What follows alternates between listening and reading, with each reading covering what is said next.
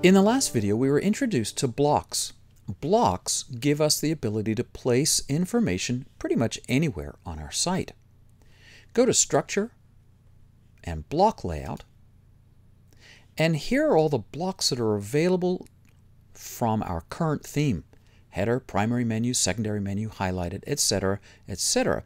And we've actually already placed a few of these. If you remember, we placed the Welcome to Drupalville custom block in one of our first videos in Sidebar First, which on this particular theme is the left sidebar. We also added a recent events added view to our left sidebar. Well, let's take a quick peek at how to configure and give permissions to our blocks. The first thing is, how do I know what block regions do what? Well, at the very top, you see this Demonstrate Block Regions. Go ahead and click on that. And every single theme in Drupal will give you this kind of a picture of where the block regions are. And block regions are indeed dependent on the theme. In Bartik, we have a secondary menu, header, primary menu, highlighted, featured top, breadcrumb, sidebar first, content second, etc., as you can see down here. You can place any block in any region.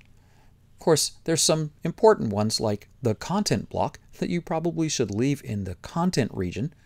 And if I click exit, we'll see another one here. We should probably leave the breadcrumbs block in the breadcrumbs region. But there's some other things we can move around quite easily. Here's the search block. I can move this into my header by doing one of two things clicking and dragging it, or just simply clicking on the dropdown and putting it in the header, and it just pops right up. Similarly, I can move the Welcome to Drupalville to the top of sidebar first. Now you remember, every time you make changes here, you have to click Save. So go ahead and save your blocks and take a peek at your home page. Here's my search bar up in the header, and my Welcome to Drupalville block is now at the very top. So that's positioning blocks and ordering blocks. What about configuration and permissions? Well, that's the great thing. Blocks can be configured pretty much any way we want. Let's give that a shot. Click back on Structure and Block Layout. And let's find our recent events added block. Right now it's in sidebar first and it's appearing on every page. Go ahead and click Configure. Right now, our latest events added block is showing up everywhere.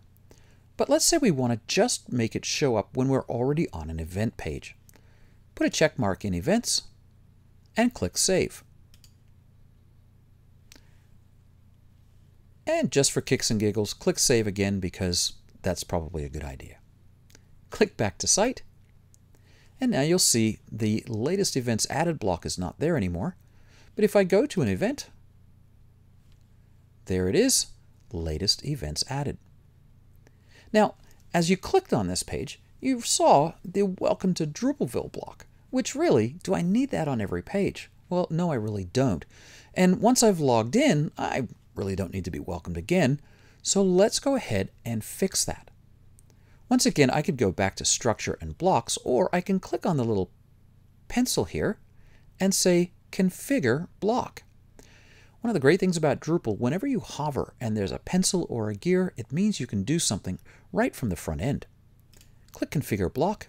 Instead of restricting it by a content type, let's restrict it by an individual page. So you'll see here specifying pages by using their paths. If I want something to be on the front page or hidden from the front page, I use this angle bracket front angle bracket. I'm going to copy and paste that in. And I'm going to say show just for the listed page. So right now, when I click save, our welcome block will only be on the home page. I'm going to go one step further.